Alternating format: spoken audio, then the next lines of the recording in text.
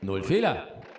Super Runde. Und die Zeit noch ein ganz klein wenig schneller, 34,36 Sekunden für Jakarta und Philipp Noven.